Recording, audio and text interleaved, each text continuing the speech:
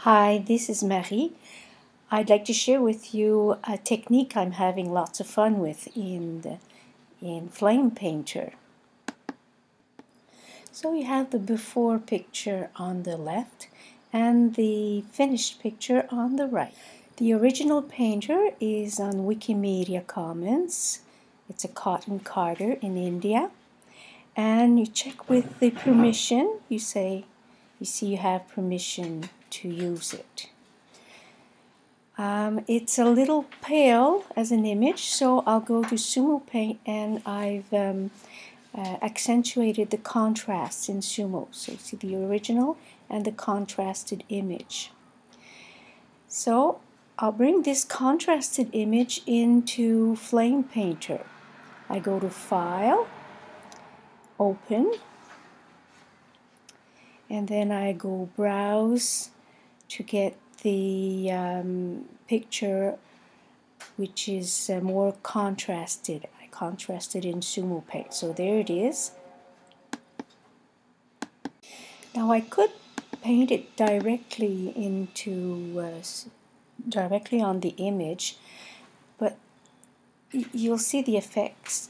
I choose a brush there and paint directly on the image but it doesn't give um, very nice results. So I go back with the eraser and instead I'll go to tools and create a back layer.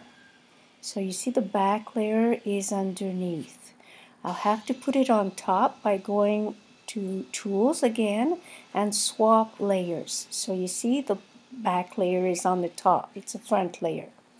So when I paint with the brush on the black layer, the underneath image appears. Now I'm presently using the gradient on lighten mode to um, put some light color into the picture. I can also go to darken and subdue some of the um, light I put here. And go back to lighten and lighten up parts of the image like that.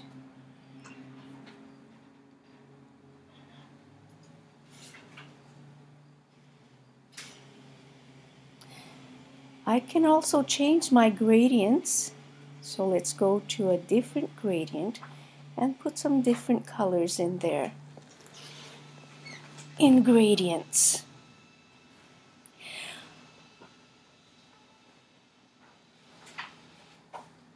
So I'll go back to tools and swap the layers so the original painting is on top and I'll go put some some uh, gradients directly into the picture.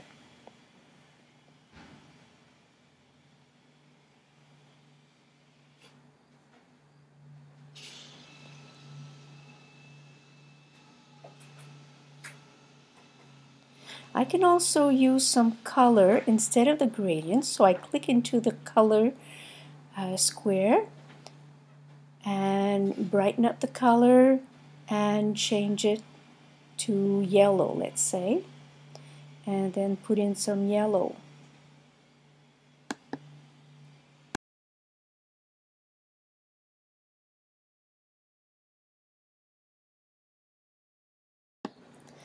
Now I don't like that yellow, so I'll click on back underneath eraser. I love that back button, so I can take out anything I put in.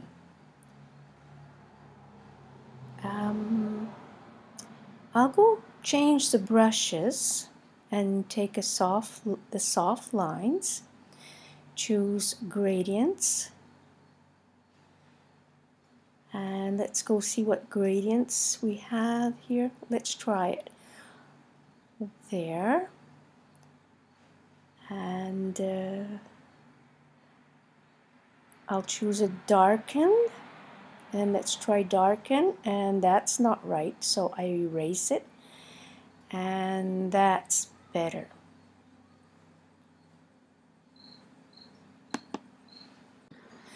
I shouldn't overwork it. So I think that's about it. So to save the image, first I'll have to go to Tools and Collapse to Back. So that the two images are blended to together. And then I go back to Tools and swap layers. So the image I want is up on the top. So I can save it. I go to File and Save As. I'll go choose a name like um, Flame Cotton, I think.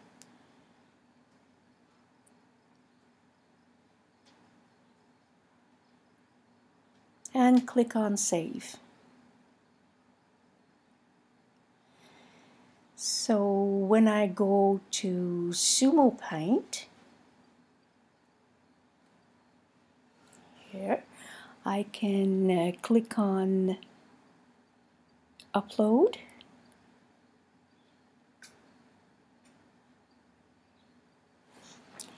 Select files to upload and then select the flame cotton and open. I'll go back to my images and there you have it in Sumo Paint. So there you have it. I hope you liked it.